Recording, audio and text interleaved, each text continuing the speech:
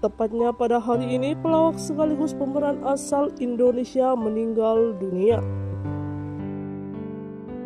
Namun sebelum menonton video yang admin sampaikan, mohon dukungan Anda untuk menekan tombol subscribe dan klik tombol loncengnya agar admin terus memberikan informasi terupdate dunia selebritis kepada Anda. Kita sebagai makhluk ciptaan yang maha kuasa pasti akan mengalami kematian. Kematian bisa datang kapan pun, maka kita juga harus selalu menjalani hidup setiap saat sebagai seorang yang beriman. Kematian itu menjadi hal yang pasti dan tidak bisa dihindari ataupun dipinta. Maka kita sebagai manusia memperbanyak berbuat baik pada dasarnya kita akan kembali kepada Sang Pencipta. Suasana haru tengah menyelimuti dunia pelawak sekaligus pemeran tanah air. Salah satu pelawak senior telah meninggal dunia. Pelawak itu menghembuskan nafas terakhirnya pada hari ini. Bahkan sebelum meninggal dunia, almarhum sempat berjuang melawan penyakit diabetes yang sudah lama diidapnya.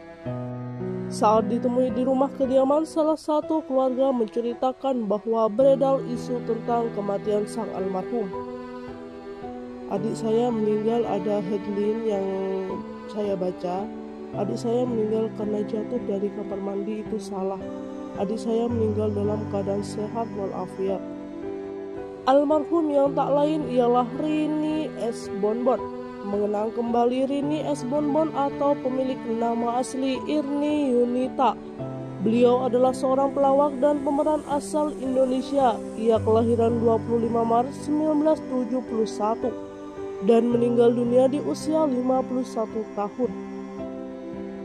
Sebelum meninggal, almarhum sempat berjuang melawan penyakit diabetes mellitus. Penyakitnya kala itu memangkas bobotnya hingga 23 kilo, sehingga salah satu kakinya membusuk dan nyaris diamputasi.